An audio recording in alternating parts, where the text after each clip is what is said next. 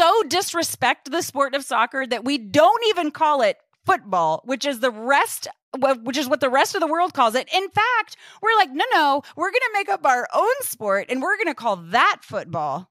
You know, there's a perfect analogy for this that you actually do in your real life, as do I, as does every Catholic listening to this show. We believe that we are right, that we are members of the one true church, yes, other people can have their fun. You know, the, the Protestants, the Jews, the Muslims, e- heck, even other believers and atheists, they can have their own fun, right? But who's ultimately right about this? It's us. So, do I have the audacity to say that the Catholic Church is the true church? I do, because I wouldn't be here if I didn't Oh. believe the Catholic Church is like American football.